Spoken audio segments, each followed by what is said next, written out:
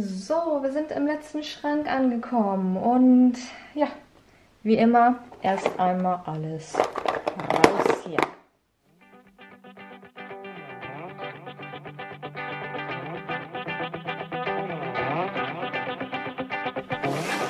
So, wie ihr seht, habe ich hier wieder eine extra Box und zwar die zweite mit meinen Mascaras. Da werde ich jetzt nichts aussortieren. Ich werde sie euch trotzdem gerne einmal kurz der Reihe nach zeigen. Ich habe hier von Urban Decay noch eine kleinere Version von der Perversion Mascara. Ich habe auch die ähm, Originalgröße. Ich finde die sehr gut. Äh, Essence Volume Stylist Curl and Hold. Ich glaube, die gibt es auch noch im Standardsortiment, allerdings ohne diese Pusteblumen, weil das ein LE-Design war. Ich mache das mal kurz andersrum hier. Max Factor Masterpiece Max Mascara. Ich habe, ihr wisst, ähm, relativ viele von Max Factor. Die habe ich alle mal zugeschickt bekommen. Ähm, die finde ich alle ziemlich gut. Also ähm, sehr solide. Aber allgemein wisst ihr auch, ich bin sehr großer Verfechter von ähm, günstigen Drogerie-Mascaras. Ich finde die von Essence und Catrice so super gut. Ich würde mir nie selber eine teure Mascara kaufen. Äh, ja, apropos günstig. Rival de Lupiang bzw. Rival Loves Me Absolute Eyes, auch eine ganz, ganz tolle Mascara. Pupa Milano Vamp Mascara, das war mal ein LE-Produkt. Essence I Love Extreme, die ist ganz gut, die hat ein riesen Bürstchen, also ihr kennt die wahrscheinlich alle. Würde ich jetzt wirklich nur nur empfehlen, wenn ihr wirklich äh, lange Wimpern, große Augen habt, bei kleinen Augen wird euch die, glaube ich, nicht glücklich machen. Ähm, aber meine Lieblinge von Essence sind ja die Lash Princess Mascaras. Also die finde ich 1A Tip Top. Trended Up Mascaras, das sind jetzt ältere, die gibt es nicht mehr. Adorable Mascara Ultra Black. Catrice Rock Couture habe ich hier noch. Äh, Benefit Bad Girl Bang Mascara, die mag ich auch recht gerne. Die finde ich ganz ganz gut. Essence What the Fake.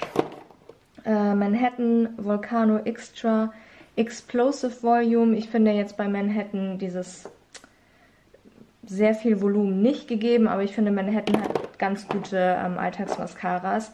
Äh, Manhattan Super Size habe ich hier noch. L'Oreal Volume Million Lashes, Maybelline äh, Lash Sensational, die habe ich auch ein paar Mal öfter. Äh, die finde ich sehr, sehr gut. Hier nochmal von Maybelline The Falsies Push Up. Die finde ich nicht ganz so gut wie, die, wie diese hier. Äh, Astor Big and Beautiful Lovely Doll ähm, habe ich auch mal zugeschickt bekommen vor einigen Jahren. Maybelline Colossal Big Shot Mascara, die ist auch ganz schön. Dann habe ich hier noch ähm, wasserfeste Mascaras, die benutze ich wirklich eigentlich nur im Sommer oder wenn ich weiß, ich gehe ins äh, Schwimmbad. Ansonsten mag ich wasserfeste Mascaras nicht. Die sind mir einfach zu schwer abzubekommen und ähm, ja, damit mache ich mir meine Wimpern kaputt und mir reichen nicht wasserfeste Mascaras für den Alltag absolut aus.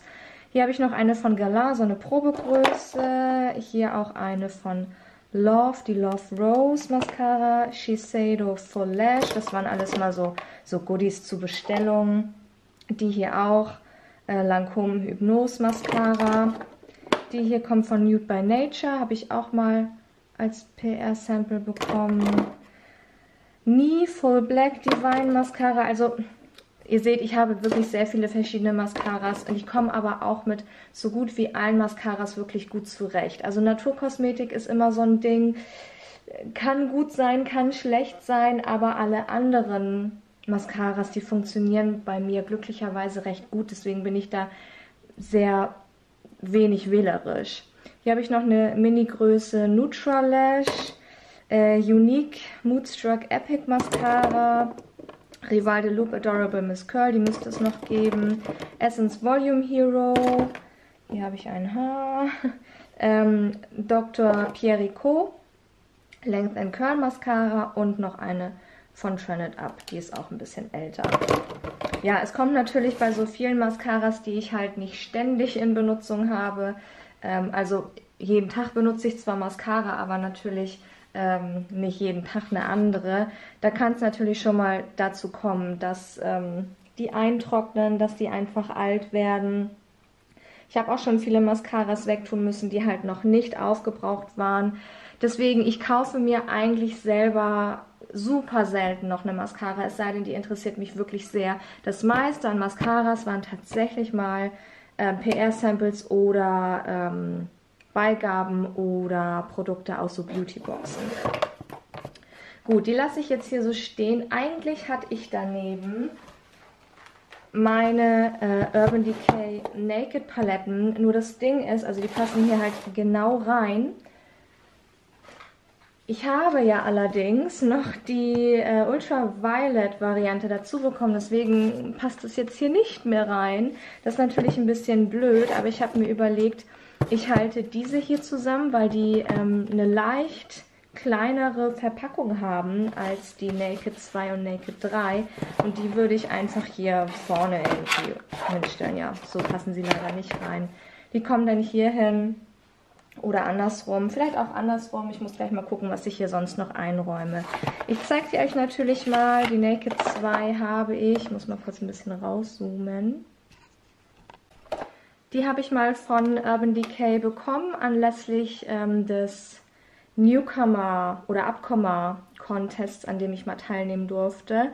Ja, ich finde die, ähm, also ich hätte sie mir selber nicht gekauft. Ich finde die relativ langweilig von den Farben, aber ähm, weil es halt eine nette Erinnerung an diesen Contest ist, würde ich die auf jeden Fall in meiner Sammlung lassen. Wobei ich kann die, eigentlich kann ich die aus der Verpackung auch rausnehmen. Ne?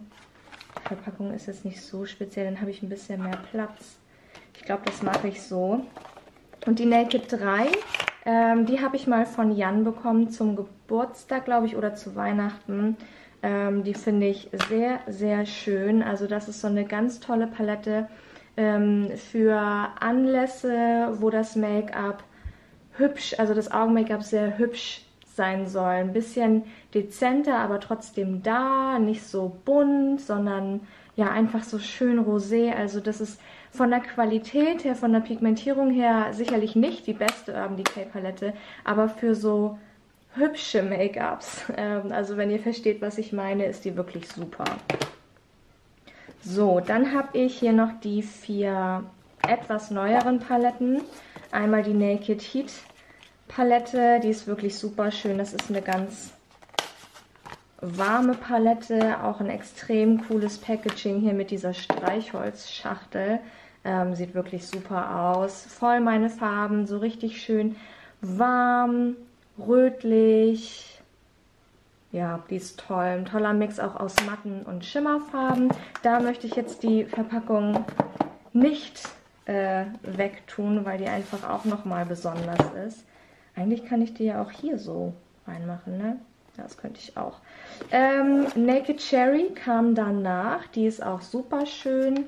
Ähm, ja, wie der Name vermuten lässt, hat die so rötliche Töne ist auch so wunderschön von der Verpackung. Ähm, ja, auch mega, mega tolle Farben. Auch voll mein Ding. Trage ich auch sehr gerne.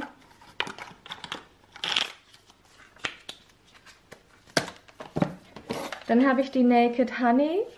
Die ist auch super schön. Ich habe sie jetzt auf dem Auge selber noch nicht getragen, aber ich habe die schon in vielen Favoritenvideos gesehen und also das Swatchen hat mir auch sehr gut gefallen mit dieser Palette. Das ist halt alles so ein bisschen gelb-gold, ähm, warm, braun, beigig angehaucht. Auch eine total schöne Kombi.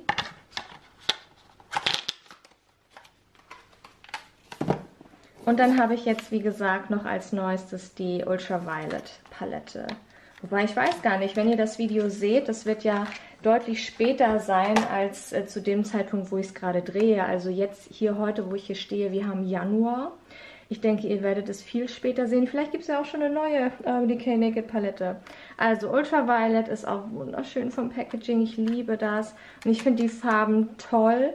Ich habe sie jetzt zu dem Zeitpunkt auch noch nicht auf dem Auge getragen, aber war beim Swatchen sehr zufrieden. Ähm, vor allem diese lila Töne finde ich sehr toll pigmentiert ja, da haben sich ja so die Meinungen ähm, sehr geteilt zu dieser Palette, aber ich persönlich finde sie wirklich sehr, sehr hübsch. Okay, machen wir weiter ähm, mit Paletten. Da habe ich in dieser Schublade noch die Maybelline, ähm, ja, The Nudes Paletten einmal, das Original. Da ist es so, dass ich ähm, die noch einmal ausprobieren möchte. Also es sind äh, schon ein bisschen ältere Paletten, von der Qualität her sicherlich mittlerweile so ein bisschen überholt, aber ich würde die, wie gesagt, gerne nochmal in meiner Schminkbox ein paar Tage ausprobieren, bevor ich mich entscheide, ob ich die weiterhin behalte oder nicht. Mm, das hier war die zweite Variante, The Blushed Nudes.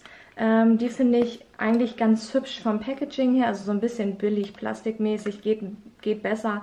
Aber ich finde das so allgemein, sind sehr hübsche Farben und ähm, ja, die lasse ich auch erstmal noch in meiner Sammlung.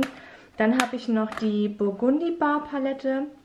Die finde ich von der, ups, von der Farbgebung her am besten von den dreien. Ähm, es sind auch ein paar dunklere Töne mit da drin. Alles wieder so ein bisschen wärmer, bronziger angehaucht.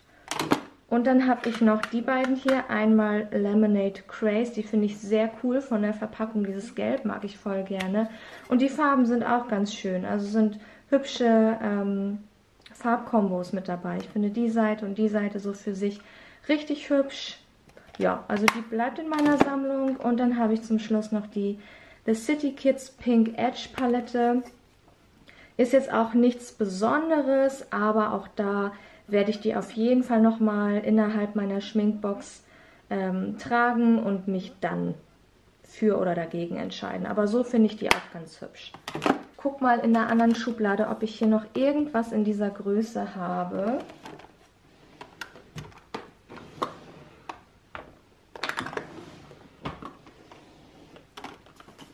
ja, da würde ich jetzt die einfach nehmen äh, von Manhattan.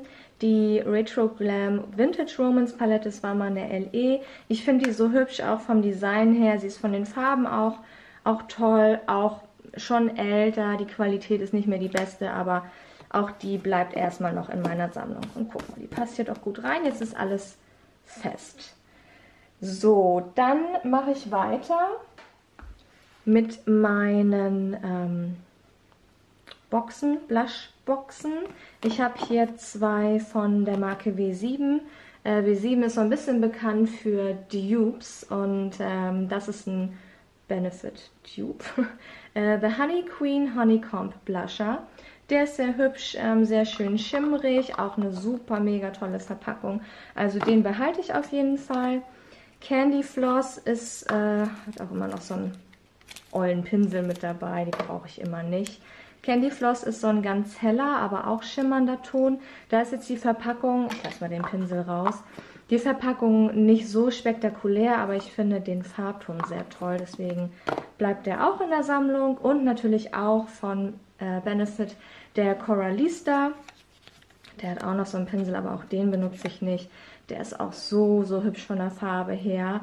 Ähm, ganz toll auch vom Packaging, also sehr schön, der bleibt auf jeden Fall bei mir, auch wenn ich die Farbe nochmal in so einem anderen Kit mit drin habe. Aber, ja, aber also das kann man ja nicht weggeben, ne? Das werdet ihr, glaube ich, verstehen. Dann habe ich jetzt noch verschiedene weitere Tarnprodukte. Einmal von Ofra, den Blush oder den Duo Blush aus der Samantha March Kollektion. Den habe ich mal zugeschickt bekommen. Äh, Focalure durfte ich auch mal testen. Das ist so ein Ombre Blush. Dann auch wunderschön Rival de Lubiang Palm Beach LE. Das ist auch wieder so ein schönes ähm, schimmerndes Blush. Ich mag persönlich schimmernde Blushes sehr gern. Ich mag zwar auch matte, aber generell wisst ihr ja, ich liebe, wenn das Gesicht so richtig schön leuchtet und ich liebe den Glow einfach. Oder den Golf. Also ich weiß nicht, was da passiert ist, auch von Focalure. Ähm, das ist so ein Diamond Highlighter. Der ist an sich ganz cool ja, und das äh, ja, ist, ist schon ein bisschen lustig, ne? Kleiner Fehler, glaube ich, unterlaufen. Hier habe ich auch einen Highlighter äh, aus der P2 Bloggers Lobbys ähm, LE. Das ist so einer mit so einem leichten changierenden Farbton. Sieht man jetzt wahrscheinlich wenig. Also der geht so ein bisschen in die Pink- schimmernde Richtung. Ich finde den ganz cool. Mm, Wet and Wild Mega Glow Highlighting Powder. Das gibt es auch noch so. Precious Petals nennt sich diese Farbe auch so ein bisschen ins Peach-Goldene gehend. Und dann habe ich hier noch ein LE-Produkt von Essence aus der Good, Good Vibes, Good Memories LE, ein Duo-Highlighter. Der ist jetzt nicht so kräftig, aber hat auch eine schöne Farbe. So, dann habe ich hier in der Schublade gleich drei lose Puder. Einmal das hier, das mag ich sehr. Ich, könnte sein, dass es das noch vereinzelt online gibt, aber nicht mehr in der Catrice Theke. Das ist das Glow Illusion Loose Powder. Das ist auch so ein bisschen peachfarben. Das ist wirklich toll. Das hat so einen ganz, ganz leichten Hauch an an lichtreflektierenden Pigmenten, ist super fein gemahlen. Ich mag es sehr gerne. Hier habe ich eins von P2 aus der Pro Beauty Reihe. Das ist so ein transparentes, loses Puder. Und dann habe ich noch von Rival de Lubiang aus der No Filter LE ähm, so ein Quattro. Also es sind halt vier verschiedene Farben, die aber gemischt da rauskommen. Als Primer habe ich hier so eine Mini-Größe, die auch bald aufgebraucht ist, ähm, drin von Garnier. Miracle Skin Cream, ich glaube nicht, dass es die immer noch geben wird. Die ist auch schon relativ alt, brauche ich noch auf. Ähm, als Foundation habe ich das Manhattan Clear Face Perfect Matte Make-up. Das werde ich nochmal ausprobieren. Ich stehe nicht so auf matte Make-ups. Ich finde die immer ein bisschen zu sehr draufgeklatscht. Ähm, das probiere ich nochmal aus und entscheide mich dann, ob ich es noch weiter aufbrauchen möchte oder nicht. Und als Concealer habe ich hier den Catrice Liquid Camouflage Concealer. Den gibt es ja im Standardsortiment. Das war jetzt ein LE Design. Ähm, aber an sich ist es ein Standard-Concealer, der super toll ist. Also ihr solltet den wahrscheinlich auch alle kennen. Ähm, mega Empfehlung, habe ich schon oft nachgekauft. Dann habe ich hier noch zwei Blushes von P2, jeweils aus der Beauty Go Safari LE. Das habe ich mir mal selber gekauft, als die LE rauskam und das habe ich im Nachhinein von einer lieben Zuschauerin geschickt bekommen. Ähm, ja, P2-Tarnprodukte, ne? Also ich glaube, wir alle vermissen P2 in der Drogerie. Ich weiß nicht, wie man das übers Herz bringen konnte, P2 auszulisten. Die hatten so, so tolle Produkte. Also ja, kann ich immer nur Gutes zu sagen. Dann habe ich noch diese drei Highlighter. Ähm, das ist einmal von Rival Loves Me aus dem aktuellen Sortiment der On Fleek Baked Highlighter, den ich aber, glaube ich, eher so als Blushlighter nehmen würde, weil der so ein bisschen dunkler ist auf der Haut. Also ja, der hat schon einen recht dunklen Ton. Also muss ich mal ausprobieren. Habe ich bisher noch nicht getragen, soweit ich weiß. Dann habe ich hier von Becca noch ein Highlighter und zwar die Farbe Opal. Becker Highlighter sind mega, mega gut, mega leuchtend. Kann ich sehr empfehlen. Auch der ist ein bisschen dunkler, aber weil er so sehr leuchtet, geht es auch für helle Haut, finde ich. Und dann habe ich noch diesen hier ähm, von Revolution, den Strobe Highlighter. Ich weiß nicht, ob es den noch im Sortiment gibt. Vielleicht in der Theke, aber ich glaube nicht mehr online. Das ist die Farbe Lunar. Das ist so ein kühlerer Ton, der so ein bisschen ähm, in die pinke Richtung geht. Ist auch sehr schön leuchtend. Ist auf jeden Fall was für den Winter. So, haben wir das. Und zum Schluss habe ich noch ein paar Monolidschatten. Und zwar einmal von den Essence I Love Nude Monolidschatten, ähm, die Farbe 08 Rosen Joghurt. Ich habe von denen ähm, einige gehabt, jetzt nur noch diesen und einen dunkelbraun aufbewahrt, weil die anderen, ja, davon konnte ich mich trennen. Ich glaube, also es ist zwar eine sehr schöne Farbe, obwohl, vielleicht wollte ich den als Blush verwenden weil das ist wirklich ein sehr hübscher Farbton. Den packe ich mal zu den Blushes dazu. Nee, kann ich nicht. Ich packe ihn hier so zwischen, dass ich mir das merke, weil so eine Farbe auf dem Auge habe ich halt in super vielen Paletten. Dafür würde ich den jetzt nicht ähm, behalten. Hier fällt alles auseinander. Ähm, aber als Blush, glaube ich, ist der sehr schön. Hier habe ich ein ähm, loses Pigment von Annabelle Minerals. Und zwar die Farbe Milkshake. Das ist ein Lehmlidschatten. Ähm, und der ist richtig cool. Also den habe ich solo auf dem Auge getragen. Da wurde ich sogar darauf angesprochen, was das denn für ein Lidschatten ist. Äh, es ist immer eine Sauerei mit diesem losen Puder, ne? Ich hoffe, ich kann euch das jetzt so ein bisschen demonstrieren.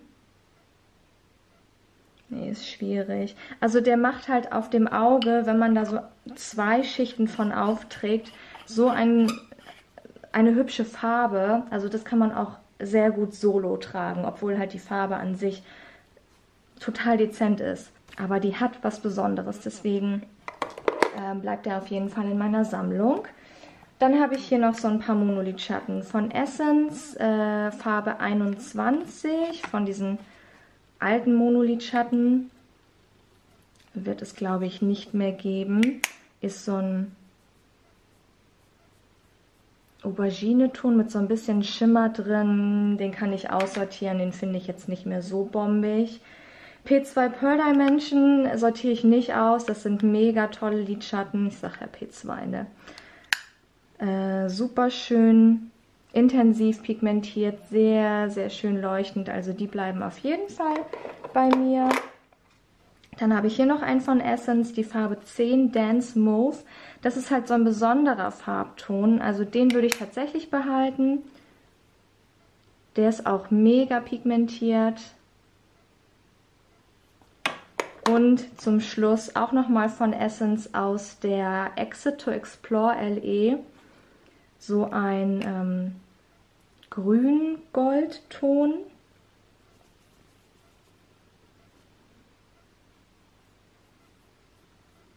Der ist soweit ganz gut pigmentiert, ähm, habe ich glaube ich vor allem wegen der Optik behalten. Probiere ich noch einmal auf dem Auge aus, würde ich sagen. Und wenn ich den dann zu unspektakulär finde, dann werde ich ihn auch trotz dieser schönen Blumenoptik aussortieren. Okay, dann ähm, wäre die Schublade jetzt soweit wieder neu sortiert. Es gab lediglich ein Produkt, was jetzt aussortiert wird, aber es sind halt so viele schöne Sachen drin. Ne? Ähm, okay, dann würde ich sagen, bin ich froh, dass ich die jetzt auch untergebracht habe, dass das hier alles gut passt und schließe die Schublade, schließe dieses Video für heute. Bedanke mich wie immer ganz herzlich bei euch fürs Zuschauen und würde mich freuen, wenn ihr auch im nächsten Video wieder dabei seid. Bis dahin, macht's gut. Ciao, ciao.